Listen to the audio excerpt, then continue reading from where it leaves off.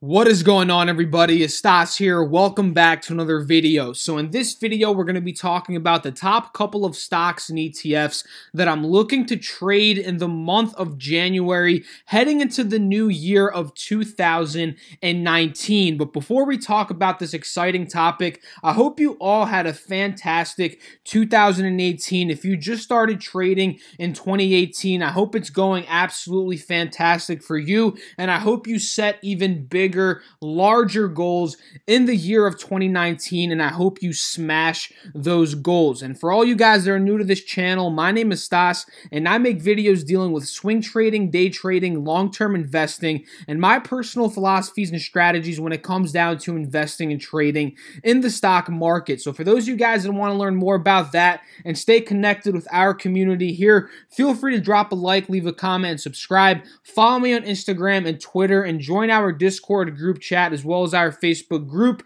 All of those are linked down below in the description box and let's get started with today's video. So typically when I make these videos on YouTube, I like to talk about the main markets, the Dow Jones, the S&P, and the NASDAQ at the beginning of every single video and look at many different time frames of these charts so we can get a very strong understanding on where the overall market is heading. And this is something that is crucial. I do this every day, multiple times a day to really map out out my trades in terms of these inverse ETFs, these market ETFs, and these, you know, large caps for the week, for the day, for the month. And, you know, it really helps me strategize and come up with a plan for each individual trade. So this is something that I do. And I really, you know, recommend you guys out there to do this as well. It really helps you understand the overall market and just deciding what stocks to trade. So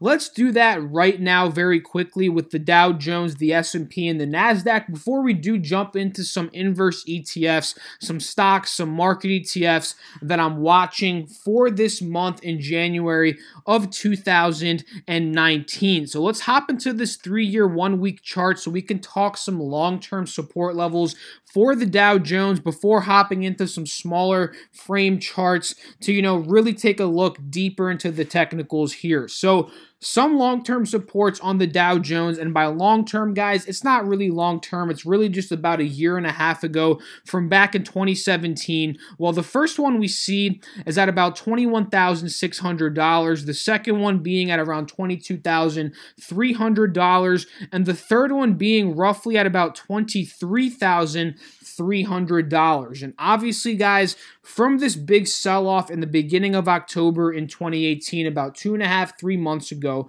you know, we've broken below the support from this past correction in March and February of 2018. We broke below the support of about 22,300. And this past week, actually, we held above or we bounced above the 21,700 support from back in August of 2017. And we can see some closer movement on this 180 day, four hour chart so we can get a better understanding here. So we notice obviously from the beginning of, of October, we saw some pretty strong sell off in terms of the Dow Jones. And then we kicked it into an even deeper notch, you know, in, in December, actually, the beginning of December, that's when we started selling off even quicker and some more panic selling started to kick in into the market, right? We've seen seen days where the Dow Jones was down 700 points and then it ended up closing the day up 300. We literally saw the other day the Dow Jones had a 1,000 point day. So this just goes to show how crazy volatile it has been,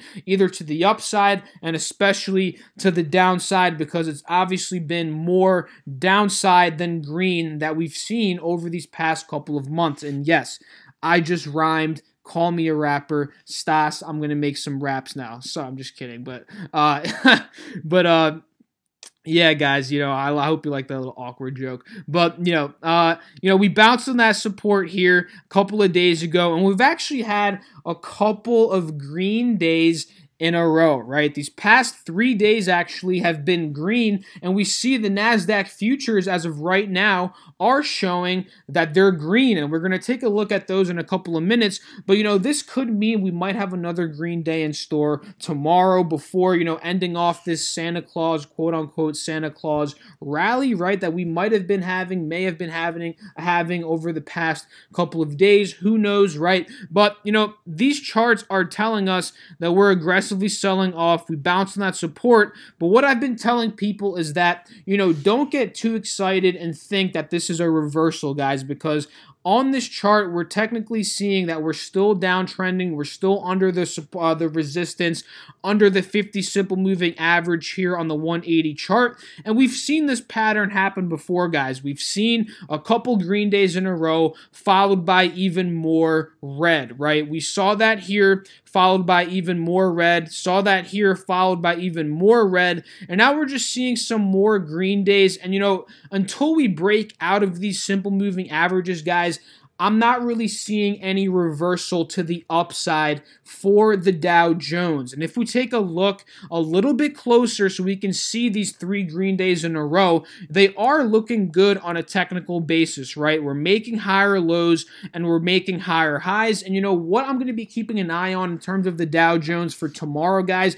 to see if it's either going to continue this pattern or break this pattern to the downside, is I want to see if it holds this trend line right here and pushes up to another higher high. Let's say it does that, guys. It's going to be testing this next resistance at the 180 simple moving average. And if we break out of that, guys, that's going to be a good move for these smaller, uh, you know, on these smaller uh, time frame charts here. We can see here, guys, that this has clearly been a uh, resistance in the past on this 30-day chart. So technically, you know, we are already above it. And if we make another higher high, that's a break of pattern on these smaller time charts. But again, if we're looking on the bigger frame charts, it's not really a break of pattern quite yet. That's why it's super important to, you know, keep an eye on all different charts when doing your analysis, right? But again, back to these little small charts here, you know, if we break below this on the downside, we might be reversing to the downside, right? But again, you know, what I want to see for a complete reversal to the downside would be A,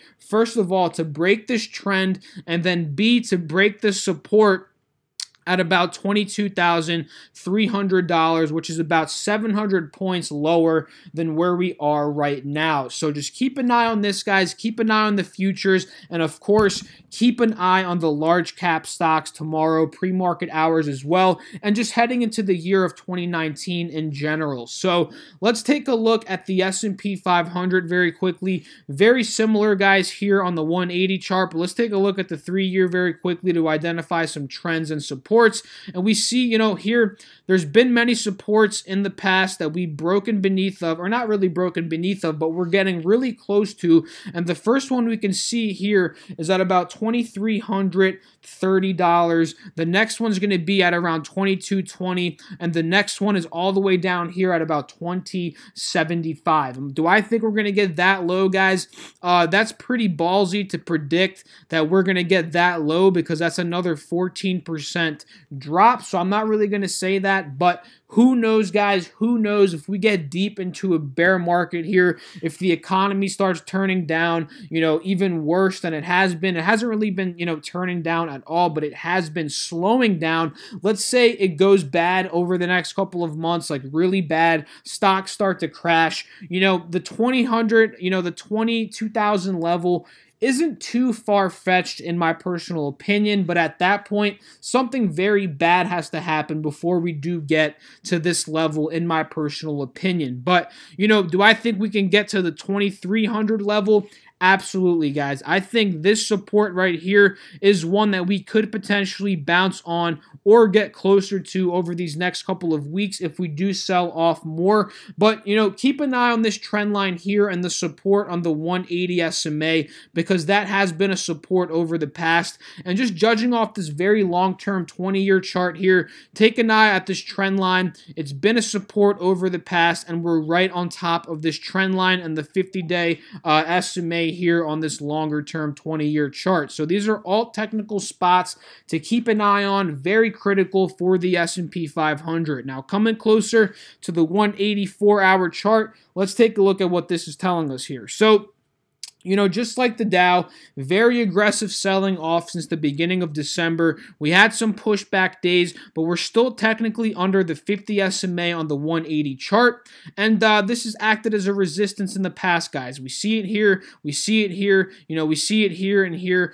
It's been a strong resistance in the past. And if we take a look at some closer term charts here, starting off with the 90 day, we are right at a resistance on the 50 SMA on the 90 day chart chart as well, which has been a strong resistance over the past couple of months since selling off in the beginning of October. And, you know, taking a look at the 20 day chart, we broke that resistance. We're making higher lows, higher highs. And what I want to see, guys, is to see a either higher high to confirm a further uptrend or a break of this trend and thus a break under around $2,400 to, you know, consider uh, reversing back down to the downside, right? And again, guys, always take a look at many different time frames when doing your analysis. Draw trend lines, draw supports, draw channels, these are all things that are super important when doing your technical analysis. And if you guys want to make some, you know, or or draw some different types of things, you can draw circles, put arrows. All you have to do is go to this drawings tab right here, drawing tools, and you literally have a bunch of different things here that you can go into. If you guys want to see uh, me make a video on these different drawing tools, drop a comment down below. We can go over some Fibonacci stuff. We can go go over some regression channels, some channels, you know, these oval circles, these arrows that you can put, you know, these different lines you can make, these all these different things that you can do with these drawing tools. I can show you guys in a separate video if you want me to. Just let me know down below in the comment section if you would like to see that. So on the S&P, guys, very simple, very similar pattern. Just keep an eye on this trend on the 20-day chart to see if we're going to break it to the downside or continue to push up for a higher high highs. So that's what we're looking at in terms of the S&P. And let's take a look at the NASDAQ very quickly. On the longer term chart here, if we look a little bit closer, guys, we saw support at around 6,200 another one at about 6,000, another one at about 5,800, another one at about 5,750. And, uh, you know, as of now, guys, we're on top of the one at around what what time? What, at about like one sixty one hundred, I would say, right? Right on top of around 6,100. That's where we bounced and pushed above this past week. Actually, no, we bounced at 6 6,000, pushed above the 6,100 one, and now we're testing the one, uh, the support from back in uh, February and March of 2018, which has now become a resistance point because whenever we break below a support level, a previous support, it becomes a new resistance level. So that's what we're seeing right here, guys. So keep an eye on that. That's an actually a very uh, important spot right now for NASDAQ. We got to break above that, which is now, again, a new uh, resistance. And then after that, the next resistance is going to be at around $6,500. So hopping a little bit closer on these charts, let's take a look at the, let's take a look at the one year, one day. Actually, no, let's take a look at the 180 day, four hour here. So on the 180 day, four hour, very similar to the Dow, the S&P, we're making lower lows, we're making lower highs. We obviously bounced on that 6,000 support. We're pushing up now, and we're right at a resistance point right now, and we're slowly peaking above it, honestly, at the 50 simple moving average. And especially since the futures are pushing up even more now, we're getting even higher, and we're testing that support that I was just talking about, or that resistance rather that I was just talking about at around $6,300. So we're keeping an eye on that level right there, guys, and on this 184 hour chart.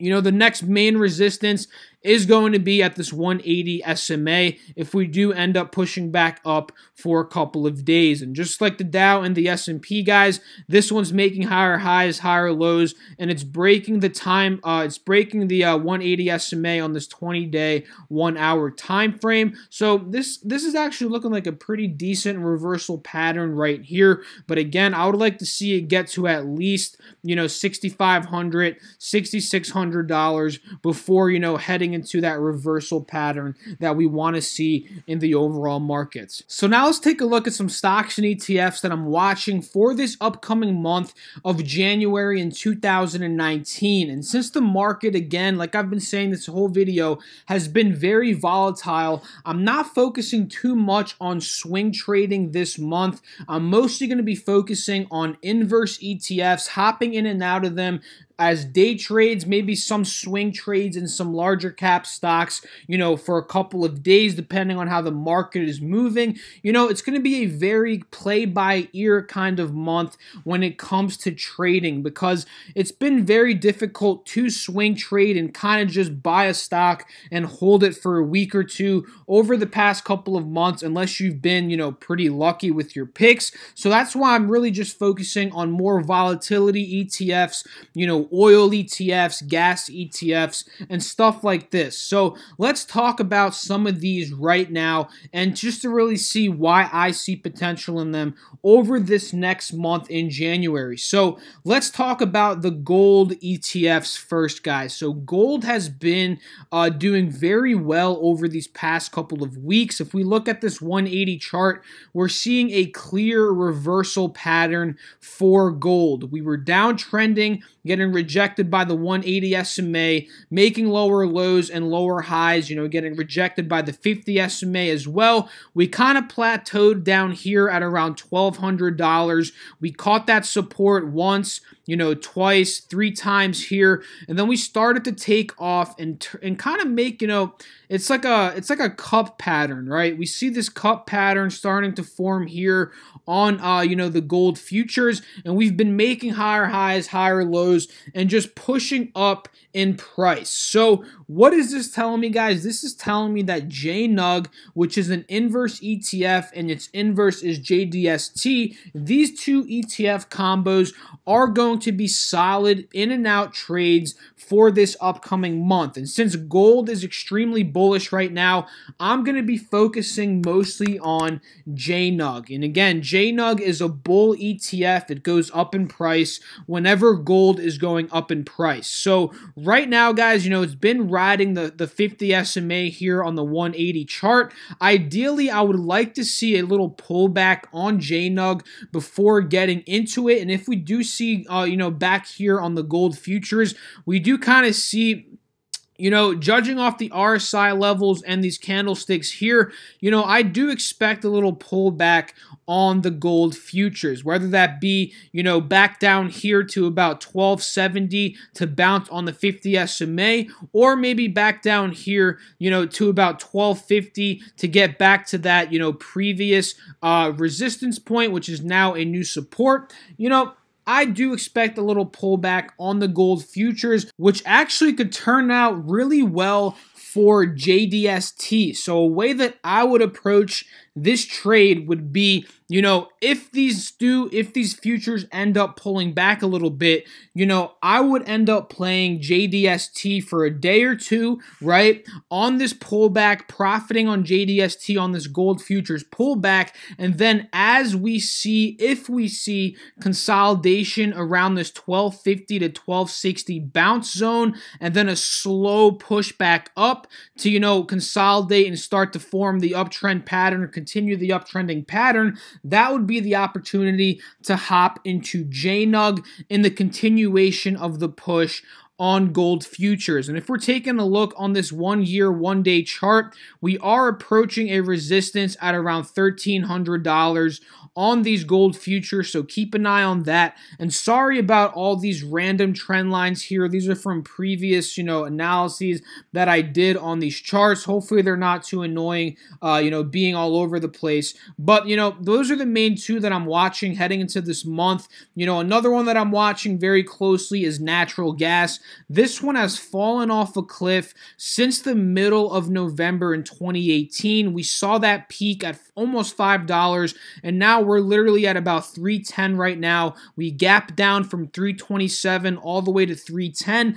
And you know what I'm looking to trade that that's based around these futures are DGAS and UGAS, right? These are inverse ETFs. UGAS goes up when natural gas goes up, and DGAS goes up when natural gas goes down. And obviously, since this big sell off, DGAS, DGAS has been doing exceptionally well. And we're kind of in an interesting spot right now for natural gas. You know, are we going to continue to sell off? Because we do see that, you know, on the RSI level, we are technically oversold right now.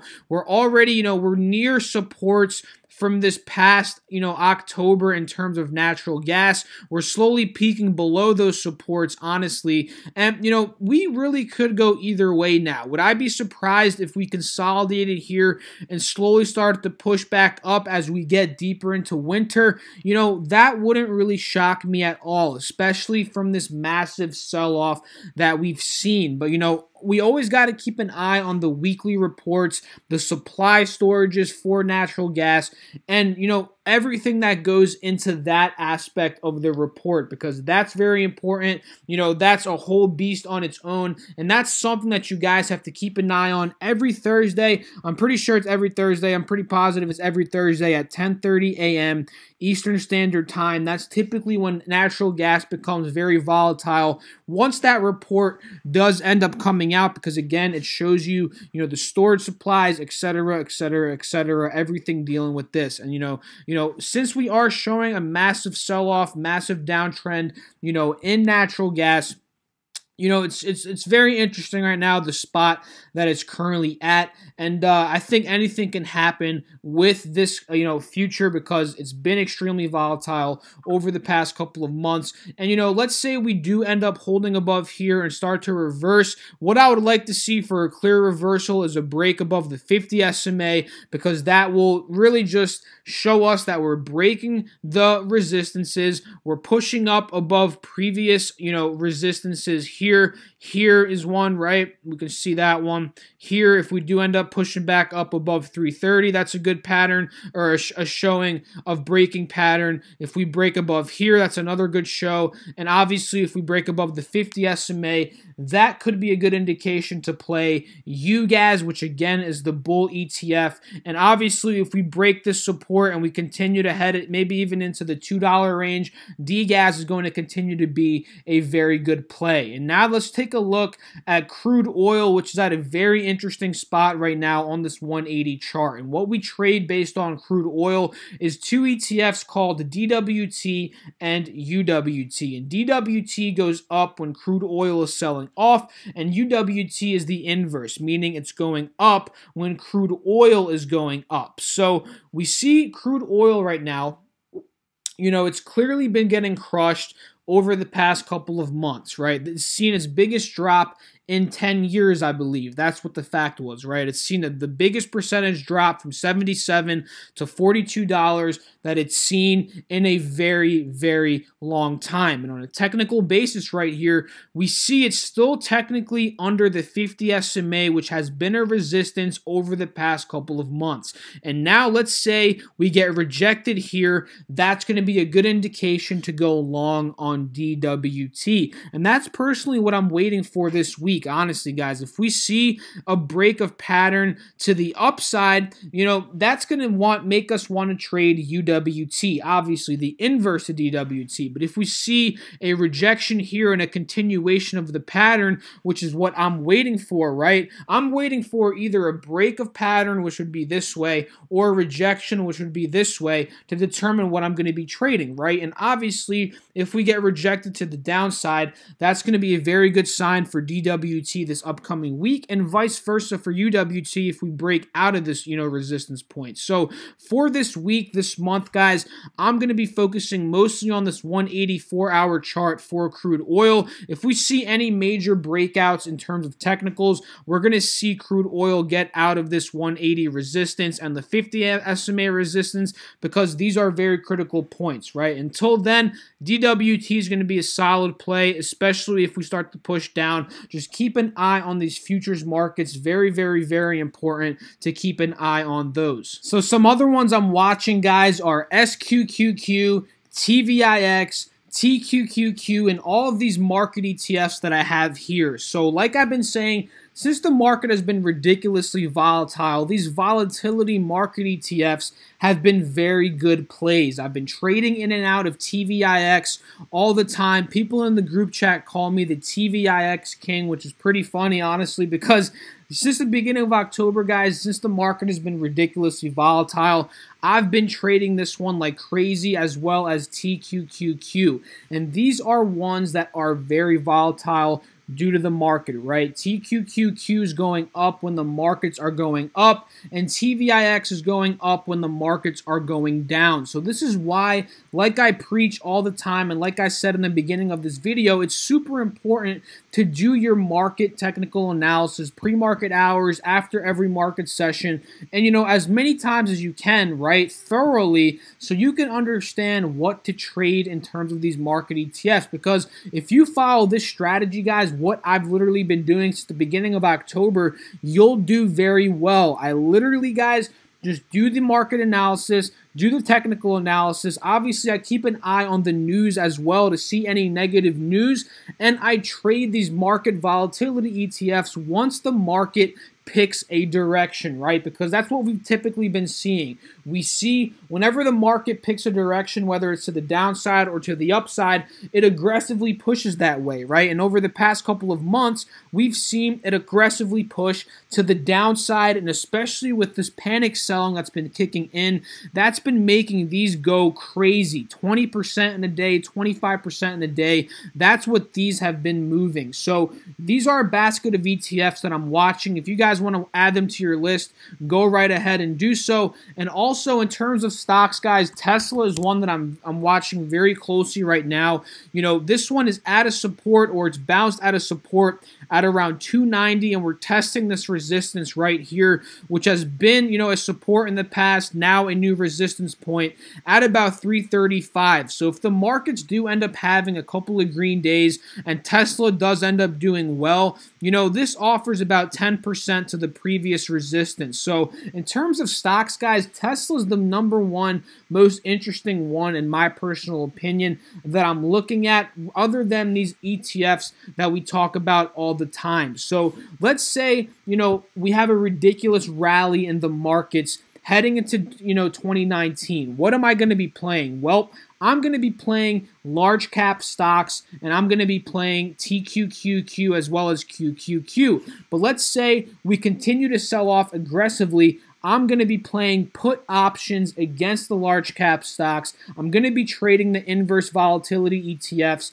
And obviously, crude oil natural gas and gold future, uh, you know, based ETFs as well. So I hope you guys enjoyed this video. It was kind of long. If you stuck till the end, drop a comment down below. Let me know. I really appreciate all the love I've been getting. Again, I hope you guys have a fantastic 2019. I hope you all have a great new year. I hope you all end the, the month of December, you know, solidly. I hope you all are having just a great time with your families, whatever you guys are doing out there during this holiday season. Again, Thanks all for supporting me. It means a lot to me, guys. I really, really appreciate it. I'll catch you guys in the next video. Peace out.